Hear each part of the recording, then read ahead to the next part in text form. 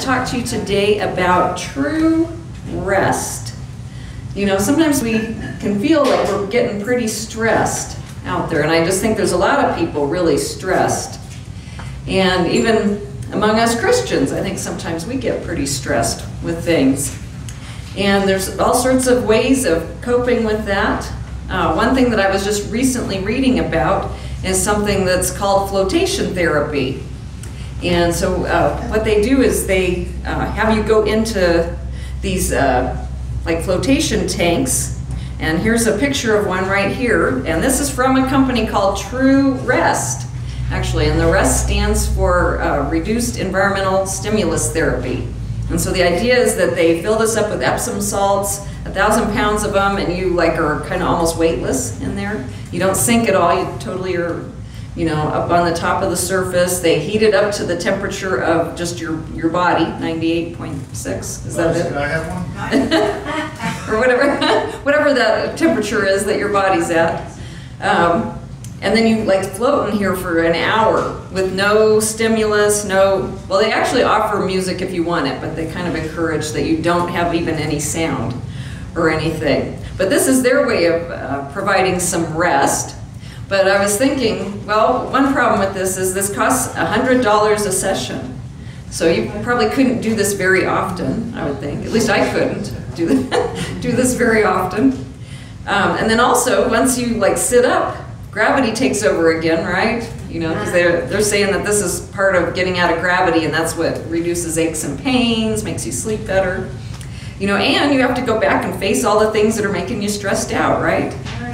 So, but God has um, some great rest for us, and Jesus has that great rest. Let's look at Matthew 11, 28 to 30. It says, Then Jesus said, Come to me, all of you who are weary and carry heavy burdens, and I will give you rest. Take my yoke upon you. Let me teach you, because I am humble and gentle at heart, and you will find rest for your souls. For my yoke is easy to bear, and the burden I give you is light. You know, and I just think it's wonderful here. Jesus doesn't charge us money for this. Um, Jesus doesn't make us do anything hard. Also, he he tells you that you can come to him for rest. He doesn't go, well, why don't you see if you can handle this for a while, and then if you really can't, come back and, and we'll see what we can do for you. You know, which is something that a lot of people in the world might do. You know, kind of like, well, why don't you see if you can do it? You know, and then if you need help, we'll, we'll maybe see what we can, can help you with. Uh, but he promises that if you'll just come to him with those burdens, that he's going to help you and give you rest. And that word rest uh, in the original language is the word anapao, uh, which means to cease from any movement or labor and to keep quiet of calm and patient expectation. And I think that calm and patient expectation is really important there. You know, because I think sometimes we think to ourselves that the rest will come when the burden's gone, right? Like that's kind of what you're looking for. Like, let's get this burden off of me, and then I will be able to rest. But it's that patient expectation while you're waiting for God to answer that prayer uh, that will bring the rest. It doesn't come, you know, it's in that space between the the prayer and the answer that you get that, and we uh, can just trust Him you know, also he says to take his yoke upon upon you and let him teach you. That's part of how this rest comes. And so here's a picture of two oxen in a yoke. And back in the days when they did a lot of this uh, type of farming, uh, they would put an older, more mature ox on the one side, and then the uh, younger ox was on the other side. And the mature ox took most of the, the load. Also, the mature ox understood what they were supposed to be doing, and the mature ox understood the commands of the plow driver. And so that was all teaching uh, the less mature ox, the younger ox. And as long as the younger ox decided to walk in step with the mature ox, everything was good. They were able to get the work done. It wasn't too hard for either of them. Uh, but as soon as that you know, young ox decided, hey, I'm not going to keep in step or I'm going to try to move off to the side, um, stuff got a lot harder when he would do that. You know, so this is a picture of us, you know, that we're yoked together with Jesus. And so he's taking the load, he's really taking uh, the great uh, weight of that load. And as long as we walk in step with Him, we'll be able to navigate the things that we're going through in our lives, and we'll be able to do the things that He wants us to do. You know, so I think that's an interesting picture there of that. And it says that Jesus is humble and gentle in heart. You know, so you can trust Him. He's not going to be too harsh. He's not going to give you too much, more than you can handle. You know, so we just have to follow Him. And one thing that this week I just felt like God was talking to me about was that nothing you know, that I need to face with Jesus is too little or too mundane to invite him into it and to ask him, you know, for that help and to help me walk in step with him through it.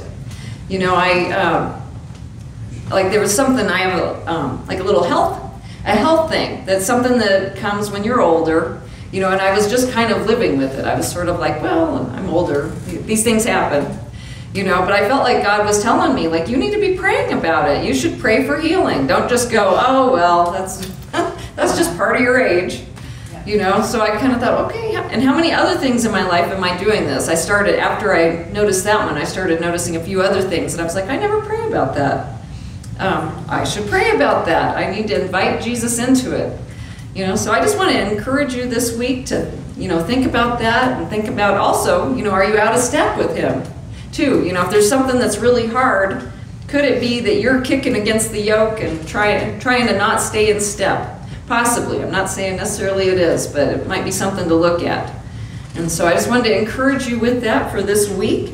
And as we get ready to give, let's just do it out of thankfulness to Him for everything that He does for us. You know, that He's got that amazing love and He died for us. And so let's give with thankful hearts. We've got some electronic ways up on the screen, but I'm going to pray over the offering and the prayer requests, and then uh, Lonnie and Max will receive those. Well, dear Heavenly Father, we just thank you so much for all that you do for us. We thank you that you offer us rest. You offer to take the load and to really just guide us in everything. And Lord, I pray that you just help each of us just to remember uh, to even ask you into everything. And I pray that you just remind us, you know, anytime that we aren't, uh, that it's that it's time. That's probably the first thing we should do instead of waiting until we've hit hit the wall. So I pray, Lord, that you would help us with that. And Lord, I pray that you would use the offerings that are given today to build your kingdom, you know, to draw people in this neighborhood to you, Lord. We want more and more people to come to know you uh, because you're just such an amazing Father, Lord. And so we pray for that. I pray that you bless each one who's giving to, Lord, that you would meet their needs as well as they give. And we ask this in Jesus' name. Amen. And so Lonnie and Max will come receive the offerings and the prayer requests. And while they're doing that, I have just a few announcements for us. One is uh, the Women's Spa Evening. Um, if, if, you're signing up, I need to know today uh, for that, but it's looking like that's going to be a great time. It'll be at the Aveda Institutes, and there's actually a slight change in time. Uh, they want us there at 5.30, uh, but they also don't want you there early. That's another thing, because their last class ends at 5.15. So, um, so if you show up early, they won't have any space, and also even the parking lot might be full. So, so come just on time, and we will have a great time with that. And then number two here is Freedom in Christ. Uh, we're getting near the end of that study. You know, but each week is its own unique topic, you know, so if, even if you haven't been coming, I would highly recommend that you, that you come. You'll get something really great out of it. And we have dinner at 5 p.m., and then we do the study, so that's a great thing. And then finally, on Wednesday, we've got Hop Cafe here from 7.30 to 9, and that's a, a great time. I'm not normally able to come because I, um, I work somewhere else, uh, but those who come, I hear they have a great time and you're meeting a lot of people from the neighborhood. So, um, so it's just a chill time here. You can come, talk, get prayer, you know, have a little bit of breakfast, and so that's a great time. And with that, I will bring up Pastor David. And uh, Nancy is just a really good Bible teacher. Yes, she is. She's my favorite. Of course, I'm a little biased. But uh, it's good to be with you all. You know, when we talk about things like she mentioned, you know, Hop Cafe and uh, what we did on Friday with the outreach, it's just, as much about being with all of you and the time that we spend together. And that's what makes it contagious with the body of, you know, the people in the, in the neighborhood. They're like, I like those people. They're nice. We heard that a few times. They, they're really nice people. So over time, you know, they're going to start coming to other things, but it's a love that we have for each other. Amen? So today, we're going to talk about true freedom. In other words, what do we do with our freedom? We sung about our freedom. We're glad. We know what God took, has taken us from and what He's brought us out of. And He who's forgiven much has great gratitude, right? I know in my life, I didn't deserve His forgiveness, certainly. I was leading other people out of freedom into chains. And I look at that, and Paul says, you know, even though he was trained in religious instruction, he says, actually, I'm the chief among sinners. Are you kidding me? I practice religion, but I don't practice love.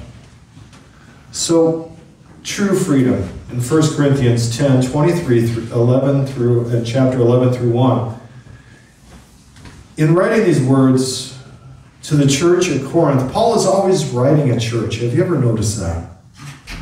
And so, if he was writing us, he might say, Paul was attempting to recalibrate their values and their priorities. And sometimes we need that, right? We need a recalibration of our priorities. We get a little bit off kilter. You know, we need to be calibrated. Uh, sometimes you use a, a, um, a, a, a torque wrench to calibrate, you know, the pressure that you're supposed to put on a screw when you're fixing something um, so that it doesn't get loose on you. And you know, we don't want to get loose with our love. You know, we don't want to get off kilter. We don't want to get, you know, back into religion or anything like that. And as Paul is writing, as a church family, the Corinthians had become marked not by the religiosity thing, but by sin, division, pride. What is division? Division is, is a, uh, a separating of the actual vision. So you want to know what the vision is, but you don't want to jump in there and cause a separation of that vision, right? Of the direction of that we're going. So when he says division, that's what that's about. Pride.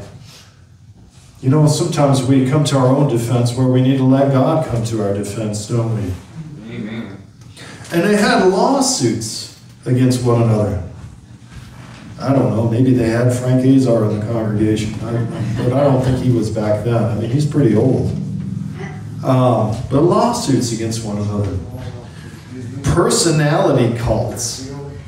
It was kind of like, a, um, you know, I like these four people, but I don't like them. And they, you know, hey, you know, you could be saying, I sit on the sanctified side of the church.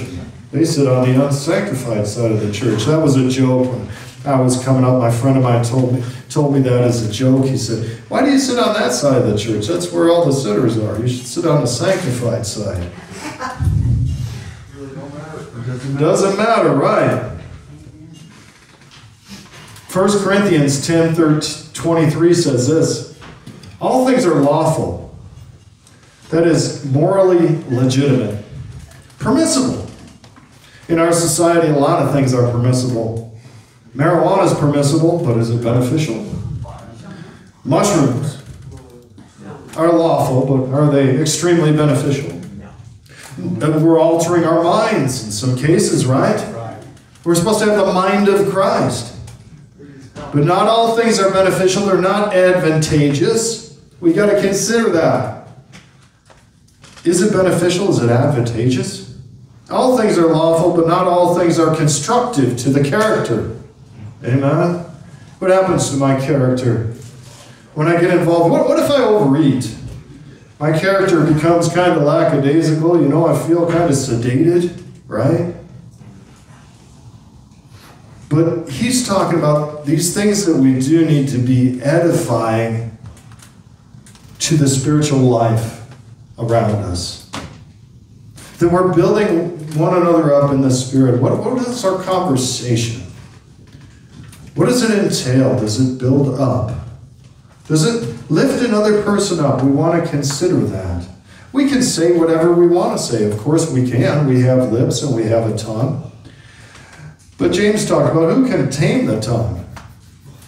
Who can tame it? It's like a rudder. But it, it, it, a rudder actually steers a very big ship, doesn't it?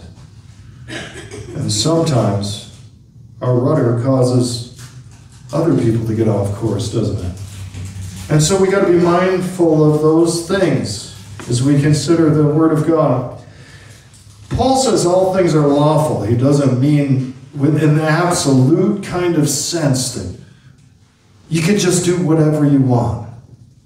Like, do what you feel.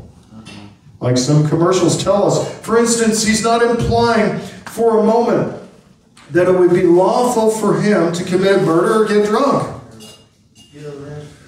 Here again, we must understand the expression as referring only to matters of moral indifference. We've got a callous over our lives. I'm going to do what I want to do, regardless of the people around me. That is, a thing might not result in building up a person in their most holy faith. Should I then be high handed and demanding? of my own rights, or should I consider what would help my brother or my sister in Christ? And this is what Paul is leading into. And, and point number one we must consider not only our own freedom, but what would affect other people's level of faith in the church. Let alone the people on the outside that we want to minister to but in the church. Remember, I started out by saying the fact that the most important thing is when we get together and, and we're excited to be together. Amen. Sometimes you don't get so excited about going to a family reunion, do you? If you shake a family tree, uh, the nuts tend to fall out, don't they? And sometimes when God shakes us up, we get a little bit nuts. And we need a course correction, we get a little bit loose. But as we continue on, Paul says what he's reminding them of what matters most. What is the most important thing? What is the thing that I need to consider? The Apostle Paul was reminding him of what matters most in 1 Corinthians 10 24. Let no one seek only his own good, but also that of another person. Which brings up point number two freedom. We love that word, don't we? Though the truth of God's word reveals that life is not about indulging our own desires, but more about pursuing the desires of others, about pursuing that they get free also. And as we continue in verse 25 through 26 regarding meat offered to idols, he gives an example, and this gets kind of heady as we think about it. And we say, eating anything in the solid meat market without asking questions for the sake of your conscience. So he's saying, I don't necessarily want to know where that came from. And sometimes some of the food that we ate, if we knew where it came from, yeah, that would seriously bother us. But you know, if we looked at the fact that before we ate chickens, they're wandering around in their own waste, it wouldn't be quite appetizing, right? It would kind of bother us inside, right? So, but anyway, he's talking about forsaking the conscience. For the whole earth is the Lord's and everything that is in it. The whole earth is the Lord and everything that's in it. Bill Crowder says three things should enter the conscious mind of a Christian.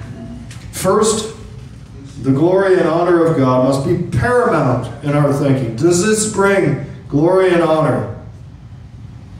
Second, our example must not bring harm to anyone, but rather bring the grace of Jesus to all.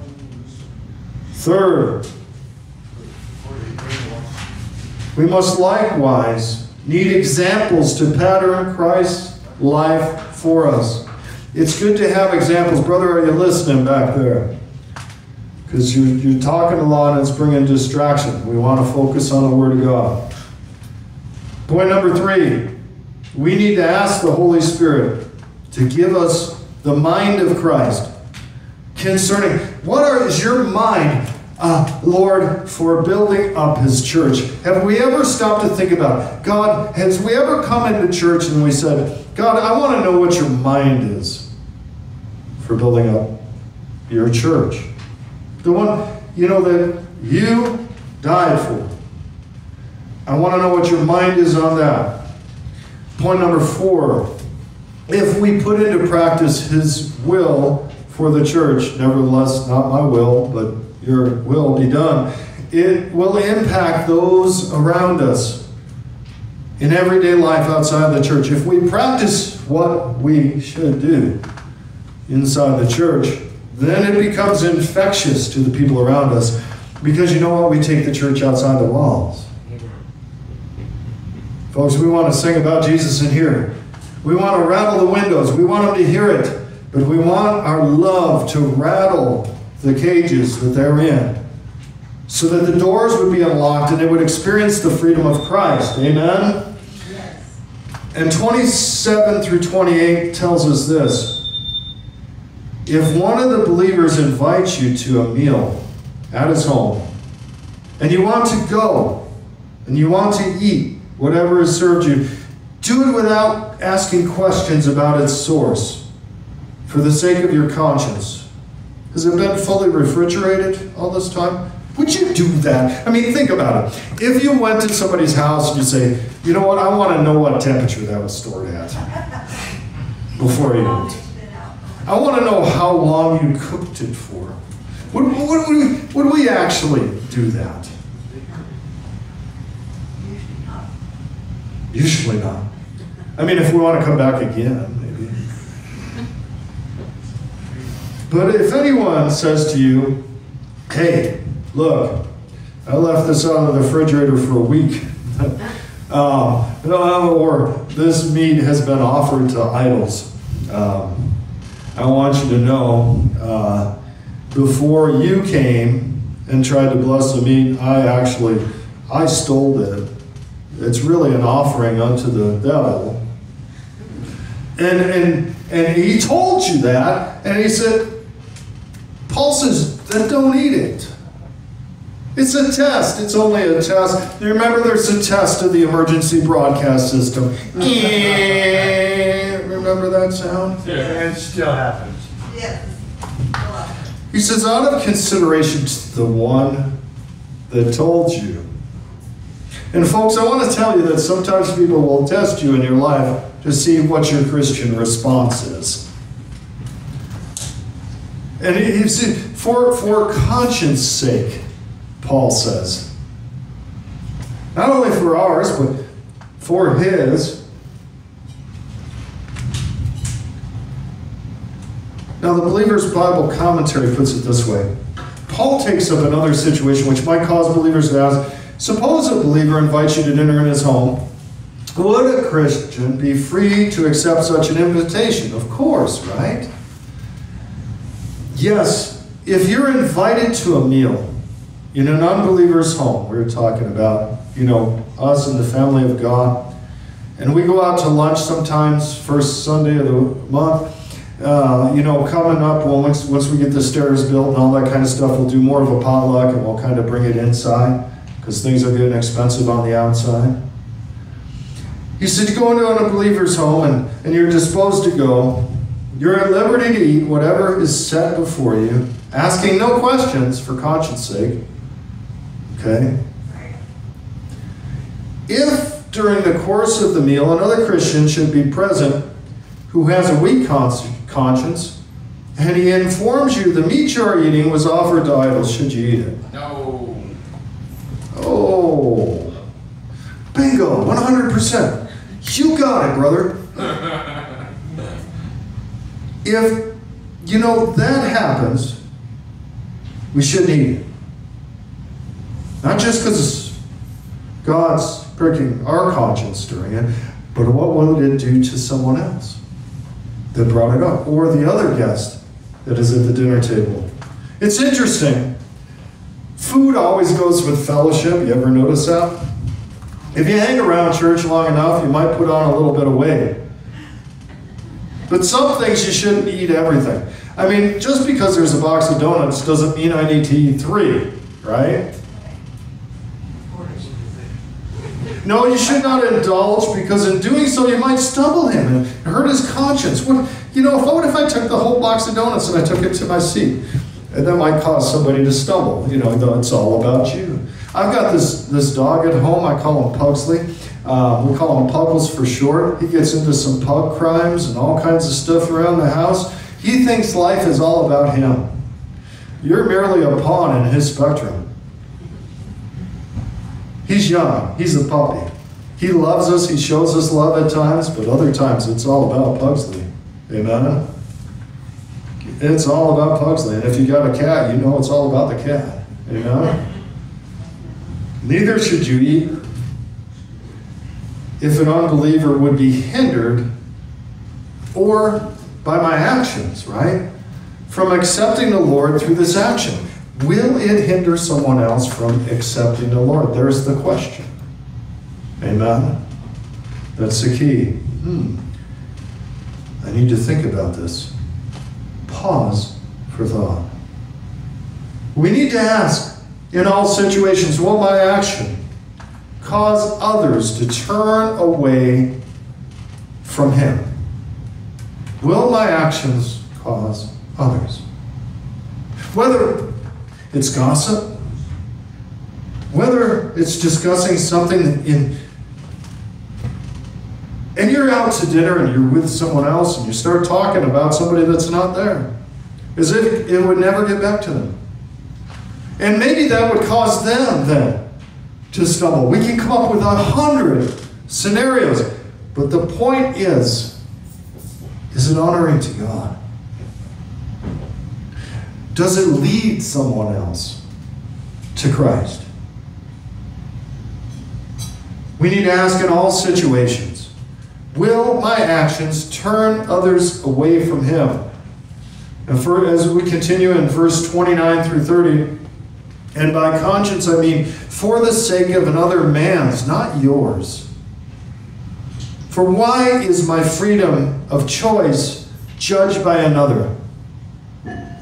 We always say, you know, I don't want nobody to infringe upon my life. Or in the world today, the key word, I think, phrase is we have to preserve our democracy. Ours. It's about me, my.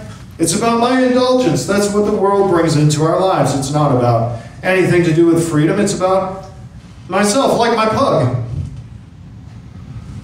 And we don't want to operate like a pug in the world, amen? Causing pain or replacing pain and other things by another's conscience, another's ethics, another's sense of right and wrong. Have you ever stopped to study a person and see what's the look in their eyes when that's going on? You know, the eyes are a little bit of a window into the soul, ain't they? It's kind of hard to hide the expression. And the great thing about, you know, being a pastor is you see a lot of expressions, and it's such a wonderful thing, but my focus is not on the expressions in the faces or whether it's, I, I know whether it's received or, someone is listening or not, but the problem, the, the situation is, am I asking the questions? Am I getting blessed by the situation so that I would uh, bless others by my actions. And verse 30 says this If I take my share of food with thankfulness, why am I accused of something for which I give thanks? Well, I, I got the whole box of donuts, and didn't I give thanks for that? Oh, I was really thankful. I was so thankful, I ran them out to my car. Didn't I give thanks for that? Or I took the whole basket of cherries over on the table. Or Susan brought in some wonderful produce, and I decided I'm going to load it all into my bag. Oh, I'm thankful though. But then the brother across the room is like, I really would have liked that zucchini. That would have made me thankful too. Amen. The thought is, what good will come of it? If we broke it down to the simplest thing, what good would come from it? Let alone is it honoring to God, what good would come of it in the relationship? Paul is about to answer this question. He anticipated that you might have that question today. True freedom is being grateful enough to serve others before ourselves and to be a Christ like example. True freedom, knowing what it costs, what it cost the Lord for my salvation, gives, you know, the, the thing that I find most intriguing about life, when we had our front door on East Colfax, the difference, uh, we fed a lot of people, okay? We had a huge banquet table full of food. We made a lot of food.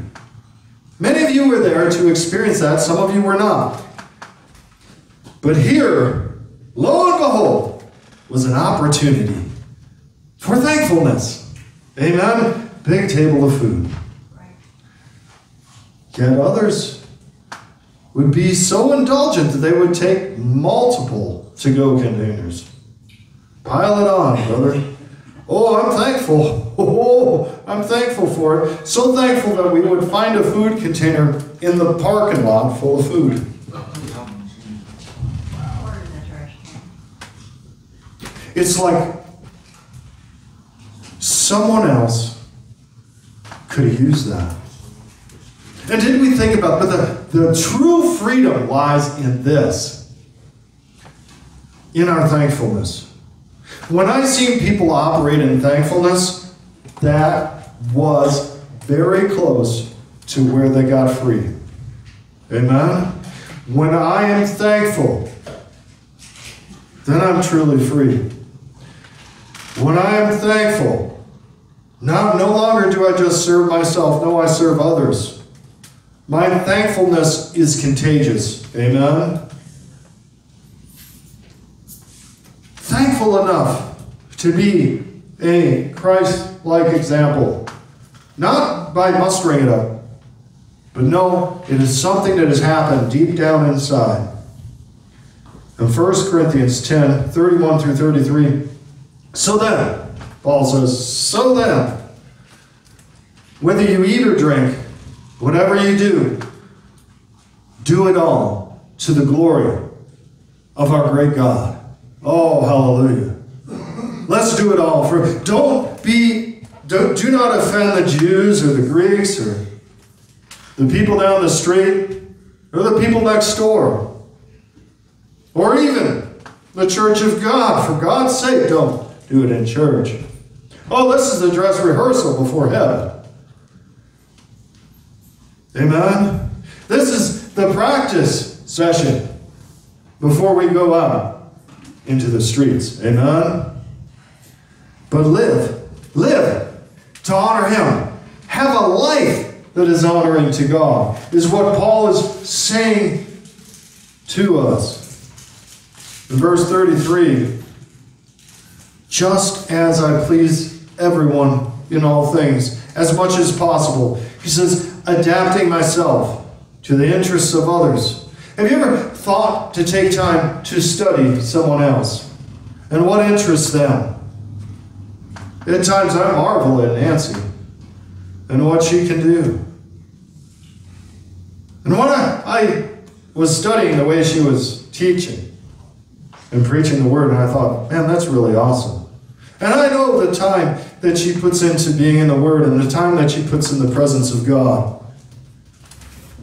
And it causes me to also, when I study that, to honor more, to give more honor.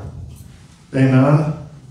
And as I look at another person and I really see the attributes and the gifts that God has put in them, and I begin to look at them in a different light, I say, you know what? I appreciate you. I appreciate you so much that there's one donut left and I'm going to split it with you. Amen? Just to put it mildly. Actually, let's share the zucchini. We'll cut it in half, okay? Right? Not seeking his own benefit, but that of many, so that they will be open to the message of salvation and they may be saved. That they may be saved. So, true freedom is to seek the freedom in Christ that others desperately need.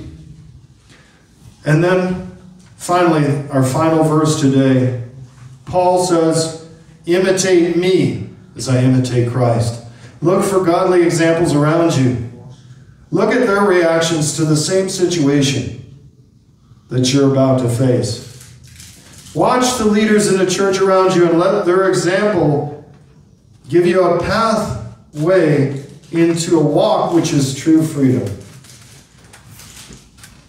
I pray, God, that we could be an example, Nancy, of true freedom.